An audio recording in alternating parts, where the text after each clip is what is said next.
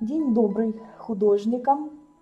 Сегодня мы пишем а, цветы, пионы а, в интересной импрессионистической манере, акрилом, акварельно, с потеками, а, с прозрачными, красивыми, водянистыми наплывами краски. И для работы нам понадобятся следующие кисти. Вот такие вот веерные. Это может быть щетина, это может быть синтетика. Обратите внимание, разные размеры кистей. А, в зависимости от формата вашего холста вы подбираете э, размер кисти. Понятно, чем больше полотно, тем комфортнее работать широкой кистью. Также вот такие вот мягкие натуральные кисти. Вот такой вот вариант. Это белка. Конечно, белка при работе с акрилом может немного а, оставлять ворсинки. Итак, начнем. На палитре у нас следующие краски. Черная, коричневая, кобальт, оливка, белила, охра, красный, малиновый и зелень. Ну, зелень уже какая есть. Главное, очень осторожно работайте с изумрудной зеленой. Если вот только она у вас имеется, тогда ее старайтесь приглушить и сделать более натуральным. Также нам понадобятся салфетки для того, чтобы промакивать, протирать кисть. И вот такой вот пульверизатор с водой. Начинаем с цветовых пятен.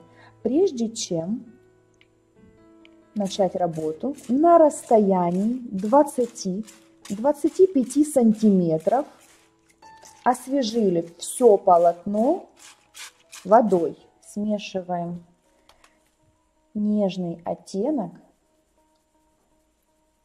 розовой краски. Вот сначала вот такой получаем. Видите, какая вот консистенция акрила? Напоминаю, работаем акрилом акварельно. И первое пятно, вот этого мы не пугаемся, нам эти ручейки нужны. Сейчас я просто обмакнула кисть в воду и хочу наметить первое пятно своего пиона. Этот пион будет на нас смотреть прямо своей серединкой. Такой вот центровой он будет.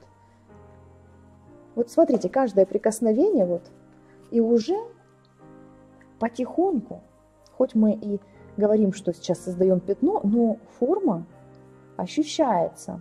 Почему попросила взять этот оттенок потемнее? Хочу вот в этой части показать теневую.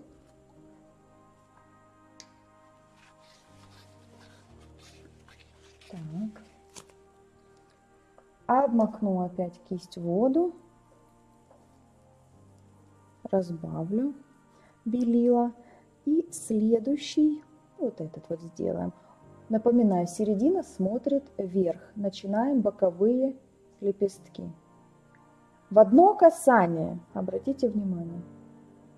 И, конечно, когда уже а, вы прочувствуете это движение, можно и понаглее чуть-чуть работать. Вот, можно где-то вот такие вот. Вот, смотрите, формы чашечки. Ну, стараемся отходить, наблюдать со стороны, что получается. Пока зеленью остановлюсь. В принципе, мне нравится здесь есть и светлая прозрачная зелень, которая как будто бы там на заднем плане, и контрастная теневая зелень, что дает нам пышности. И сейчас возвращаюсь к пионам.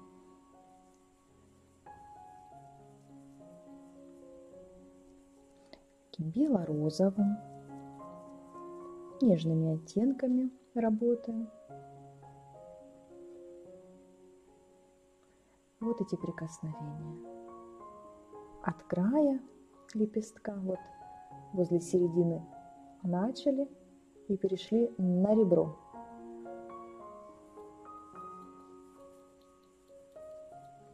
у серединки. Вот сейчас поярче цвет, нагляднее будет. Приложили и перешли на ребро. Вот они, нижние. То есть вы вначале прижимаете, а потом уже аккуратно завершаете, как будто бы в воздухе, свое движение. Вот этот, в принципе, этап по-хорошему уже можно оставить. Можно уйти в более подробную прорисовку, но я думаю, все-таки план был а, сделать что-то абстрактное, интерьерное и не такое уж внятное. А, оттенки достаточно приятные. А, постарайтесь а, сохранить изначальный прозрачный слой, то есть не все мы должны уплотнить. Можно также еще сделать брызги на работу. Ну, в таком положении неудобно мне показывать. Работа кладется на пол и выполняются какие-то яркие белые, можно желтые с белым брызги. Так что вот этот этап, пожалуй, пускай у меня таким останется. Он подсохнет, я, конечно, еще посмотрю, что еще важно для такой работы знать. Акриловую работу обязательно покройте глянцевым лаком, потому что вы можете разочароваться, когда она подсохнет и станет грустной. Вспомните свое впечатление, когда вы над ней работали, она вам казалась сочной, яркой, потому что краска-то была влажной, и она вам нравилась. Поэтому не пугайтесь. Прежде чем что-то с ней сделать, сделайте такой промежуточный а, слой один акриловым лаком на водной основе и посмотрите, вернется ли та яркость. Если же вдруг вы все-таки какими-то оттенками недовольны, тогда чуть-чуть их доработайте и опять покройте лаком и понаблюдайте, как поменялись цвета. Ну что, удачи, художники! Трудитесь, пробуйте, экспериментируйте, наслаждайтесь процессом, и все обязательно у вас получится. А с вами была Лилия Степанова. До скорых встреч. Пока!